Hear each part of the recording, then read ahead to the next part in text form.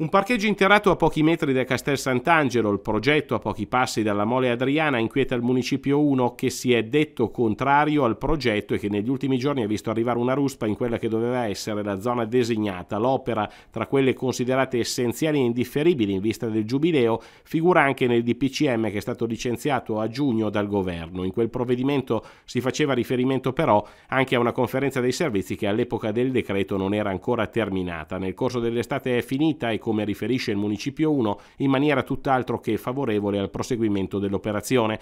Si continuano i lavori per il parcheggio sul Lungotevere Castello, nonostante la conferenza dei servizi del 20 luglio si sia chiusa con un parere negativo, ha segnalato l'assessore municipale alla mobilità Adriano Labucci, che ha pubblicamente posto la questione. Perché non ci si è fermati anche a fronte delle molteplici criticità emerse e anche a dispetto del parere negativo che era già stato rilasciato dalla giunta municipale? Una domanda quella di Labucci Bucci in attesa di risposta.